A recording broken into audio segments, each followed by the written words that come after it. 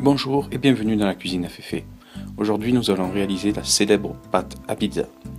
Donc pour deux pizzas, il faut 15 g de levure de boulanger, une pincée de sucre, 450 g de farine, 15 g de sel, 4 cuillères à soupe d'huile d'olive et un verre d'eau. Nous allons d'abord diluer la levure dans un bol avec un peu d'eau.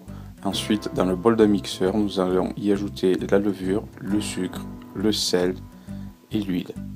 Nous allons réaliser ceci dans un robot afin d'éviter d'avoir la température de notre main dans la préparation de la pâte.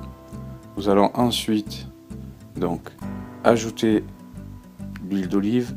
Si jamais nous nous rendons compte que la pâte n'est pas assez lisse, nous allons ajouter de l'eau de manière à la rendre plus lisse. Vous obtiendrez donc deux magnifiques pâtons à pizza pour réaliser une superbe bonne pizza.